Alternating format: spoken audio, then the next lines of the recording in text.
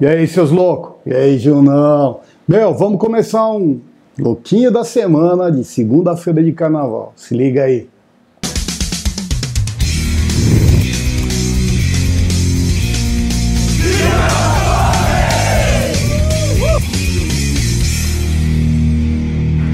E aí, beleza?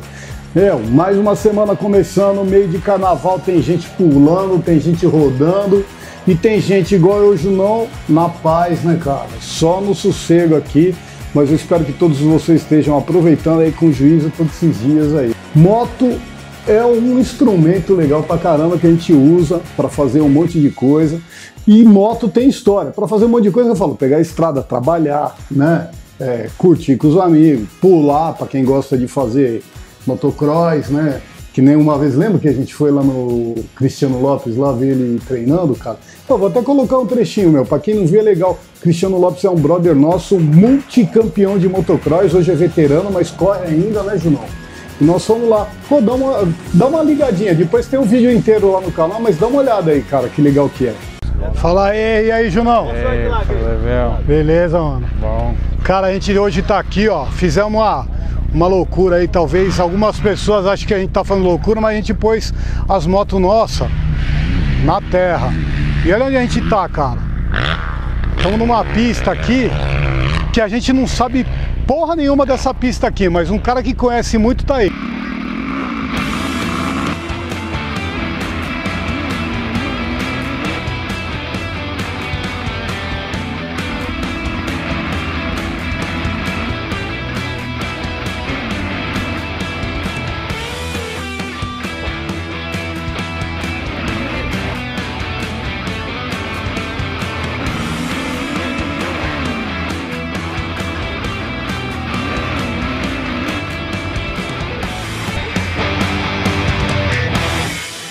Fala, aí, Cris. galera? Beleza? Tudo bom? Cristiano Tudo bom, Lopes. É, beleza. O Cris, cara, Cris é um piloto que tá há 23 anos já no. 23 anos aí de terra, né, cara? Três anos. Caraca, velho. Porque a terra ensina muito uh, você ter mais sensibilidade na freada, te ensina a, a derrapagem, que é muito importante no asfalto, não parece, mas é muito importante. É, te ensina a frear mais em cima da curva, mas compensação depois da curva você também não está mais freando. Uhum. Então nós tivemos o, o próprio Alexandre Barros fazendo isso com a gente, nós tivemos o Cajuru fazendo isso com a gente, é, foram, foram vários pilotos que teve essa experiência com nós na, na terra, mas nós também tivemos essa experiência com eles no asfalto lá em Interlagos. Essas motos são muito fortes, a retomada dela é forte, porque essa moto, ela, você tem que trabalhar com ela, ela não pode embarrigar na retomada. Então a, a- puxada dela chega a ser igual uma esportiva, não? Nessa retomada curta, porque vocês ela é curta, né? É. Ela, você- ela, ela- é uma moto muito forte, ela tem 60 cavalos, pesa 90 quilos. Puta, é É uma- uma moto muito forte de arrancada. Aham. E você tem a terra. Aham. Então você, quando eu saio, eu, eu abro a aceleração e abro tudo. Sai tem- cavocando. É, e nós não temos controle de tração, não tem. Aham. O controle de tração é a sensibilidade das mãos. Aham. Então eu falo que na, na- na terra, essa motocicleta ela, ela, ela traciona, que esse é o segredo, é você tracionar. Aham. Não é você simplesmente acelerar e deixar ela patinar. Você tem, tem que tracionar. tem que ter sensibilidade você saber. consegue Aham. é, ter, ter volta, né? Ter tempo nas voltas. E freio dianteiro usa?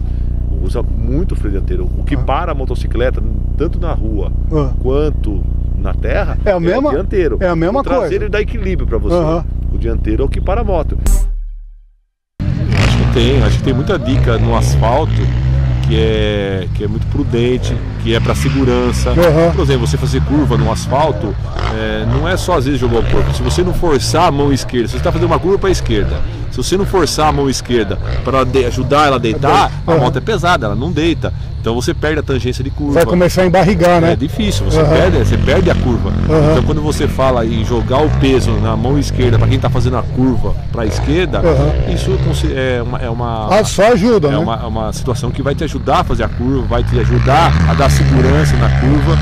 Outro ponto que eu sempre falo para as pessoas: você prepara a curva, você nunca freia na curva. Depois que você entrou na curva, frear é só risco de pilotagem. Então, prepare sempre a curva antes de chegar nela. A partir do momento que você deitou a moto para fazer a curva, deixa ela andar. moto é isso, né? Cada um na sua vibe, na sua tribo, fazendo o que gosta. A gente gosta de estrada, né? De curtir e de tá, mas cada um na sua vibe. E aí, seus loucos? Domingo agora, hein? 6 de março, vai ter o quê? Aí, ó, encontro na igrejinha, hein? Vai estar tá todo mundo aqui, vamos receber todo mundo. Quem quiser vir, já vem. Traz um quilinho de alimento não perecível para a gente doar para a comunidade aqui da igrejinha. Vai ter muita moto, vai ter um negocinho para beber, uma coisinha para comer. E o principal, conversa, cara. Vamos conversar, vamos fazer integração. Então, domingão agora, dia 6, hein? Pelas 9 e meia da manhã já vai estar a galera aqui. Cola pra cá.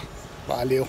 Só para lembrar, hein? Quem tá chegando agora, que tá conhecendo, Los Condes é aqui a gente, eu e o Junão, e tem um monte de louco que anda com a gente, né? Louco é aqueles cara que curte andar de moto, tá numa vibe bacana, curtir um monte de gente, passear, meu, levar a vida do lado positivo e mais estrada e menos internet, né, Junão? É legal você entrar na rede social, compartilhar suas coisas, mas vai viver, né? Junão sempre teve isso na cabeça, assim, palavra do Junão, bora viver. E viver, cara, tá todo o universo aí, né? Então, às vezes, o pessoal fica muito agora pensando nesse negócio de NFT, de comprando terreno virtual, casinha virtual, ah, velho. Pega essa grana, bota gasolina na moto e vai pra estrada, né, Junão? Ah, vou comprar uma casinha virtual, vou comprar um terreno virtual, que daí vai valer milhões e daqui um tempo, não sei o que, velho. A tua vida tá passando e você tá lá que nem um tonto lá. Agora eu comprei um, um, um coqueiro virtual pra pôr na minha piscina virtual que vai. Ah, velho, para com isso, cara. Vai seguir a vida aí. Em vez de pegar coisas não palpáveis, né? Que o, o NFT é não fungible things, coisas não palpáveis, vai pegar o que é palpável, cara, e que você consegue ver um pôr do sol, né? E a tua moto, a pessoa que você gosta do lado de você, né? Isso aí que é legal, cara. Vai aproveitar a vida desse lado, cara. Não, pô, ficar pensando ah, que nem esses caras que fazem. Fique milionário, não sei o quê, e aí pega todo o teu dinheiro que tem, não toma café, não compra, não gaste dinheiro no teu almoço, leva um sanduíche de mortadela, porque esse dinheiro daqui cinco anos, os 10 reais vai valer 150. Vai viver, cara. Tá louco. Ah, tá vendo, DJ? Tudo louco, meu. Passado o desabafo, tá curtindo? Já se inscreve aí no canal, né, cara? Se inscreve. O Los Condes a gente tem sempre essa mentalidade de pegar e levar a vida pelo lado positivo, né, Junão? Para todo mundo levar a vida numa boa, bacana, com mente para cima vocês não sabem, para quem não sabe a história do Junão, vou deixar o link aí para vocês verem. O Junão tem uma porra, mano, uma história que é porrada, que eu acho que cada um de vocês tem que conhecer a história dele. Vou deixar o link aí para vocês verem. E ah, vale a pena ver, cara. Uma história da hora aí. Eu vou deixar aí para vocês saberem tudo, para saber a história do Junão. Tem um, um, se vocês pegarem o canal nosso desde o comecinho, vocês vão ver toda, né? Tudo que, puta, as viagens que a gente fez, né? As viagens que o Junão fez e que eu não fiz. É, meu, tá tudo aí no canal, cara. Vale a pena dar, aproveitar que tá no meio de carnaval, dar uma maratonada nos meus contos, né? Tem coisa bacana pra vocês verem aí. A pipa do vovô não sobe mais. A pipa do vovô não sobe mais. Ainda bem que eu não sou vô, né, Junão? Ah, sobe sim, meu. Rapaziada, mocinhas. Tem carnaval? Não tem carnaval? Se tem ou não tem, meu, a gente não quer nem saber, né, Junão? Cara, carnaval, tô nem aí. Excepcionalmente, essa semana de carnaval, não teremos o nosso encontro semanal. Mas é carnaval, né? Então, bora molhar a buzina, rapá! Pô, mas fica um conselho, né, velho? Não vai sair encharcando aí fazendo merda, hein, cara? Cria juiz, hein, meu? Pode encharcar, mano. Consciência, hein? Pelo menos, não muita. Semana que vem, estamos de volta. Bom carnaval aí, seus loucos. Se for pra pular, pula na moto, né, Junão? Será que foi só eu que não entendi esse negócio de pipa do vovô? Já vi isso. A gente se reuniu uma semana atrás e falando de viagem, viagem longa, viagem curta, com a experiência da viagem. E o comandante Ronaldinho, com a sua sabedoria, falou um negócio bem bacana. Vale a pena vocês assistirem. Assiste aí. Pedro de Atacama, você vai de R1 hoje. De R1. Tudo lisinho. Com a tua mulher na garupa. Para! tem imposto pra caralho. Você vai parar em Salta. Quando você sentar lá andando de teleférico pra tomar uma cerveja vendo a cordilheira, shopping center aqui, é outro papo, é outro papo, Ó, é outro já papo. mudou aqui, ó. Não, é outro papo, para. Não, tô- para. Isso eu tô te falando de 2007, hoje muito melhor. Para. Ah, não, mas eu vou ter que subir a cordilheira. Vai. Ali você vai ter, vai ter que abastecer em tal lugar, tal, não sei o quê. Aí você chega na aduana, que eu tô falando pra ele, antigamente você fazia papelzinho, que você perdeu um papelzinho, fodeu. Hoje você chega lá, tudo informatizado. Põe o seu passaporte lá, o leitor lá, que nem na América. É. Já era, dá entrada, saída lá. Acabou isso aí, para. E você vai ver lugares que a NASA vai testar os veículos dele para mandar para a Lua. Onde você vê isso? Só lá. Não tem, meu. É o rolê que eu Aquele, quero fazer. você vê aquele puta daquele vulcão assim nevado em cima em fevereiro. Nossa, aquele deserto muito de louco, sal. Para, meu. Todo mundo que foi pro Ushuaia falou, o Ushuaia é legal Não. pra cabeça, Sim. só. Porque a estrada é chata, o caminho é... Não, é, é, é, Você vai pegar lá no meio da cordilheira, anda, anda, anda. Não, mas tem uns negócios legais. Sim, Vai, vamos que você vai ver. mas eu prefiro ir Eu fui cinco vezes. Eu Não. prefiro ir pro Atacama. Não, Atacama, desculpa. Ah. Chuaia é, Chuaia é desafio pessoal. É, é. Lá na Antártida. Só que também, você chega na Antártida lá, é- caralho, onde eu tô, meu, de moto, sabe? tô no fim desafio pessoal. Agora, Atacama não. Atacama é viagem de Biemer. É, é o bicho. Não, é o bicho. É turístico É bonito, mesmo, é bonito, é para. coisa de rico. Não, mas lá você vai levar, você vai levar 20 dias, que cada dia é um desafio. Porque você não sabe o que que vem. Aí você vai andar, aí você tá andando assim, você entra numa montanha, assim, quando você faz a curva, aquele deserto de sal do caralho, aí você tira uma foto, vai, aí você dorme no outro dia. Não, aqui tá normal. Aí você vem. Aí aquele lago de degelo, sabe, com um monte de flamingos. Cada dia é um dia. Cada dia é um dia. Eu, é que eu falei um menino lá assim, ó. Quando você sai de casa, você fala, para onde você vai? Para minha casa. Só que com uma voltinha aqui.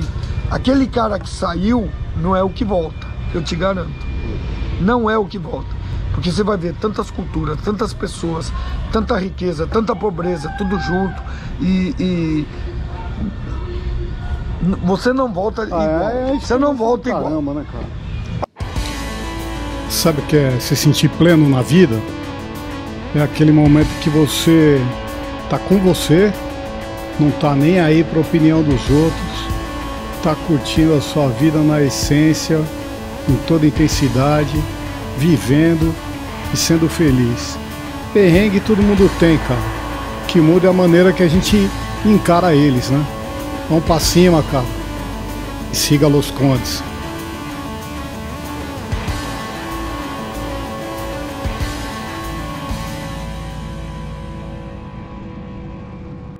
Tá tendo um golpe aí, cara. Tem algumas coisas esquisitas aí, meu. Se alguém vier pra você e perguntar, cara, preciso comprar tua moto, meu, que moto que você quer, eu vou comprar tua. Fica esperto, velho. Fica esperto aí. Meu, não cai nenhuma cilada, nenhum negócio assim milagroso, porque não existe milagre, cara. Nada cai do céu, né, Junão? Então fica esperto aí, não cai nesse golpe, não. Sabe quando encontra um monte de amigo num bar e a conversa rola solta? Dá uma ligada aí, assunto bacana, o Sábado da Discórdia, com muito papo bom. Tá nossa playlist, hein, cara? Assiste aí. Presentes na mesa aqui. Ronaldinho Presente. Roque, Cezinha, Rafa e Xandão. Se somar a quilometragem desses senhores aqui, eu acho que dá pra ir até Santos. Dá Santos? Serra Azul, Braga, é, Braga. Serra Azul e de volta. Serra Azul e de volta. Lançaremos em breve o Bottom. Fui ao Cerro Azul. Serra Azul Azul, mais fui. uma. Vou, vou colocar o Bottom. Vocês viajaram bastante, vocês viajaram por um monte de lugar. É, qual que é assim a sensação de de estar num. Às vezes a gente fala, pô, tem cara que planeja viagem pra caramba e faz roteiro. Qual que é de cada um de vocês assim? Ah, vamos fazer um rolê. Como é que vai? Como é que Vamos rola? atrás do Ronaldinho. Na realidade é o seguinte: das viagens que nós fizemos, esse cara, a Rota 66, ele fez com perfeição. Ele não dormia, a gente chegava na cidade, ele, ele ia pro quarto, ficava no computador e. Levantando Pedia as atrações É, que tinham naquele Na próxima cidade. No- no roteiro do outro fazer. dia. A gente chegava e ia beber, ele pegava o computador e via naquele trecho, além daquelas do mapa, as Outra alternativa. outras, é, às vezes saindo da rota. Quanto a plano, a gente sempre foi de fazer bastante plano, né?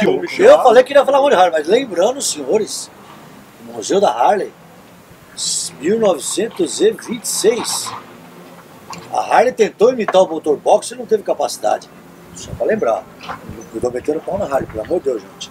Só pra lembrar, tá lá no Museu da Harley o Eu motor nunca box. vi uma, eu nunca vi uma BMW com 500 mil quilômetros rodando em estrada. Não existe. Não, Não, existe. porque a Harley Nunca, vai de carreira. Nunca. Nunca verá. Nunca verá. Porque vai de carretinha, porque nunca verá. Não, você vai partir com esse princípio, eu vou me retirar. Vou me retirar. Você vai contar isso, né? Você vai falar isso você é polícia. Não você conta isso. Você tá armado, eu vou ficar quieto, mas tudo Pensa, bem. pensa no sujeito feliz. Feliz. Feliz. Chorava. Virou criança. Feliz. Chorava por todos os orifícios, esse dia. Todos. Não sobrou um. Olha, olha a foto da felicidade. Ah, é, é. E aí começou o rolezão. Foi. E aí é coisa sem planejamento, assim, você sabia de onde você saiu e para onde ia chegar. Aí o que acontecesse no caminho, ah, vamos dormir aqui, não vamos, Eu vamos tinha lá. um mapa que eu, que eu tinha comprado da outra vez, que de- deixava os trechinhos mais importantes da Rota 66. Ah. Nos Estados Unidos é o seguinte, o americano, de uma forma geral, o cara é bom pra caramba em turismo, né, meu? Então aqui nesse, nessa esquininha aqui, o, o Billy the Kid atirou não sei quem, aí virou um museuzinho. A gente foi no Museu do Arame Farpado. Caraca, Muito velho, louco. museu Não, da- Então, então, assim, tudo é um museuzinho, um boteco, é um lugar. É, é pra gente que né, meu, a gente foi educado pela, pela televisão, não adianta. Então você chega numa cidadezinha, você fala, pô, você assistiu o filme Os Dois Malucos lá, Easy Rider? Aí você vê lá o gigante, pô, o gigante aqui, o astronauta, Onde o os caras passaram. É. Você fala, pô, aquela ponte, não sei o que, você passa por ela. Esse cara, meu, Muito, muito, inteiro. muito. Aqui, ó. Ó, aí o cidadão aqui vai do Brasil à Venezuela para conhecer o calibre vene- venezuelano. Conheceu. Sabe quantas fotos ele tirou? Seis. Nossa, Três. Foi seis, cara. Três queimaram, três deu pra aproveitar. Só na fronteira, seca. Ali do outro lado da rodovia ali, é outro país. Você tá ali, você tá vendo ali, o cachorro sai andando aqui, atravessa pra lá, o vento que bateu aqui bateu lá, o matinho voou pra lá, mas não é mais sua casa. Então assim, é engraçado, às vezes a gente tá vindo do Paraguai. A gente tá a mil quilômetros de casa, mas passou em Foz do Iguaçu, você fala, tô em casa. Tô em em casa, casa. tô em É casa. igual quando eu cheguei, eu vi a placa hoje na, na é, Araçatuba, lá 500 quilômetros, acho que era, você lembra? Distância da Araçatuba. Cara, quando você entra no estado de São Paulo, você fala... Tô em casa. Ah, eu tô em casa. Eu Não, você tá em Araçatuba, filho da puta. É, Você demorou é. um dia pra chegar em casa Mas aí. tem umas coisas engraçadas, né? Quando você vem do sul, quando você chega em Curitiba, você fala, tô em Não, casa. opa, chegamos. E quando você tá em, vindo do, do, do- do Rio de Janeiro, você chega em Aparecida, você fala, porra, tô É, em é casa. São Paulo, Tô em é São Paulo. é, Ainda tem em São Paulo. 170 O preço da gasolina caiu pela metade. É. Aí o cara pega e uma motocicleta, pega um avião e vai lá pro Oriente lá comer, como que chama? Escorpião. Agora, Minhoca. tá bom, você você tá andando no Brasil, você vai lá pro Nordeste, tem algumas falas diferentes, vamos dizer, o sotaque, né? É, na Europa tem bastante também. Agora, o cara foi para um lugar que é complicado até de ler as coisas, né? E a comida é né, totalmente cara? diferente. É, então. E rodar lá? É, mão inglesa, ponto um. Então, É assim, você tá sempre na contramão. E eu tem que mudar o Nós estamos raciocínio. falando de da, da Tailândia. Ah, Tailândia. É, onde eu rodei na mão inglesa. Eu rodei na África e rodei na, na Tailândia na contramão, na África do Sul. Uhum. E é complicado, porque o nosso cérebro manda a gente entrar na rodovia e entrar à direita. Você tem que parar, Ah, você tem que pilotar é. mais devagar pra. Então, assim, na Tailândia, eu fiz o quê? Eu- Era um grupo de acho que quatro motos. Era um Não, grupo bem show. pequeno. É, Do mesmo outro que eu tinha perfil de pedido aqui. viagem, é outra pegada. É, é umas duas ou três vezes eu saí, eu por último, porque eu falei, eu quero ir por último porque eu vou de propósito. O pessoal sai, por exemplo, no posto de gasolina, eu saí e pá pra direita, ah, cara, na contramão, não, puxei, tô na contramão. Isso acertar. De ultra você fez lá. Não, também. não. Lá eu fiz com, com moto de segunda linha, que é um país pobre, com carro de BMW. É, BMW. O Estatuto do Idoso hoje é, é, obriga a gente aqui a incluir um para poder andar. Então, Puta, aí lascou, porque falar de idoso aqui tem três, não é só o Rafa, não, é eu e o Ronaldinho também. Vai, Ó, o Deus seguinte, céu. vai longe, vai perto, vai médio, Vai vai, vai, cara. Vai, vai, vai, cara, vai, vai. vai. Bom, gente, a gente tá terminando aí mais um Louco da Semana. Obrigado por todo mundo. Não se esquece de se inscrever no canal, deixar seu like. E durante a semana a gente tá. Cara, vou deixar. O nosso estúdio está em reforma, né, Junão? E hoje a gente tá aqui no meio da reforma aqui, mas agora, a partir da semana que vem, as coisas já voltam ao normal, né? A gente consegue fazer mais mais conteúdo e mandar mais coisas para vocês, beleza? Valeu aí, boa semana para todo mundo, que todos tenham uma semana abençoada e siga Los Cones.